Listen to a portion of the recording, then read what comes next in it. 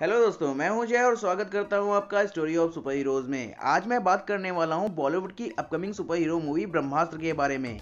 लेकिन उससे पहले अगर आपने अभी तक ये चैनल सब्सक्राइब नहीं किया है तो प्लीज़ सब्सक्राइब करके नोटिफिकेशन ऑन कर लीजिए, ताकि आपको इस तरह की वीडियोज़ टाइम पर मिलती रहें।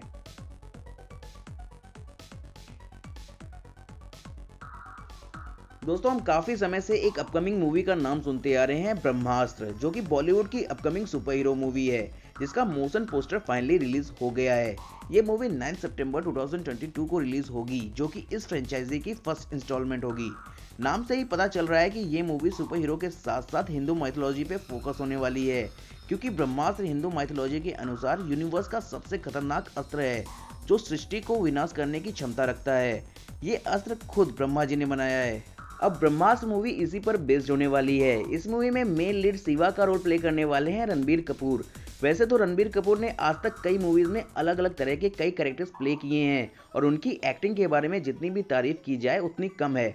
पर फिर भी ब्रह्मास्त्र में शिवा का रोल प्ले करना रणबीर कपूर के लिए भी काफ़ी चैलेंजिंग होने वाला है। रणबीर कपूर के अलावा भी इस मूवी में बड़े बड़े एक्टर्स दिखने वाले हैं। जैसे अमिताभ बच्चन एक प्रोफेसर के रोल में, आलिया भट्ट शिवा के लव इंटरेस्ट के रोल में नागार्जुना अकनेनी एक आर्कियोलॉजिस्ट के रोल में और शाहरुख खान भी एक साइंटिस्ट के रोल में स्पेशल अपीयरेंस देने वाले हैं।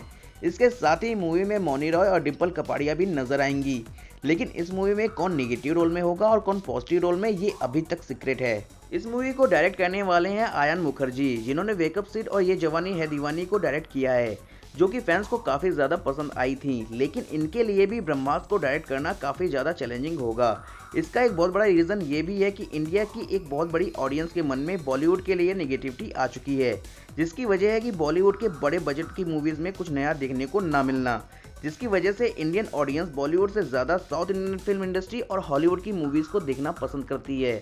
और कहीं ना कहीं ये सोच भी आ चुकी है कि बॉलीवुड कभी भी हॉलीवुड और साउथ इंडियन जैसी मूवीज़ नहीं बना सकता, जो कि काफ़ी हद तक सच भी है। लेकिन मेरे हिसाब से अगर बॉलीवुड में भी कोई नया एक्सपेरिमेंट करता है तो सारी नेगेटिविटी को अलग रख के उसे जज करने से पहले मूवी देखनी चाहिए।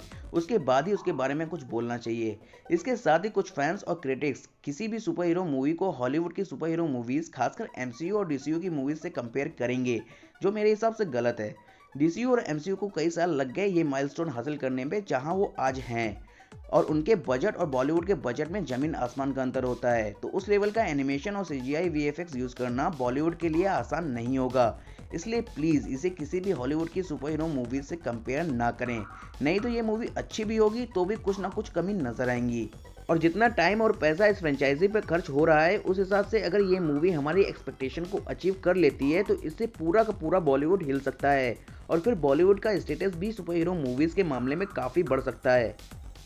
इसके मोशन पोस्टर में ज़्यादातर वी सीन ही देखने को मिले। साथ में रणबीर कपूर भी नज़र आए शिवा के रोल में, जिनके हाथ में एक मिस्टिकल त्रिशूल भी था, और बैकग्राउंड में हम लॉर्ड शिवा को भी देख सकते हैं। जब मैं विकीपीडिया पे इस मूवी का प्रीमाइज पढ़ रहा था, तब मुझे इस मूवी के प्लॉट का थोड़ा बहुत अंदाज़ा हुआ।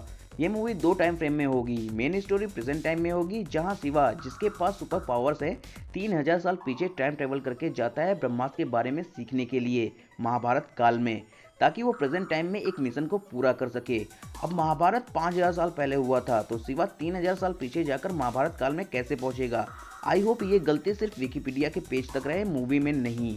लेकिन यहाँ से एक बात साफ़ हो जाती है कि मूवी में टाइम ट्रेवल होगा और महाभारत काल भी देखने को मिलेगा। लेकिन ये भी सोचने वाली बात है कि वो कौन सा मिशन है जिसे पूरा करने के लिए शिवा को ब्रह्मास्त्र की ज़रूरत पड़ी, जो कि यूनिवर्स का सबसे विनाशकारी अस्त्र है। तो हम उम्मीद करते हैं कि ये मूवी बॉलीवुड की इमेज को वापस ठीक करेगी और एक एग्ज़ाम्पल सेट करेगी, जिससे बॉलीवुड में भी हमें नए नए कॉन्सेप्ट की मूवी देखने को मिले।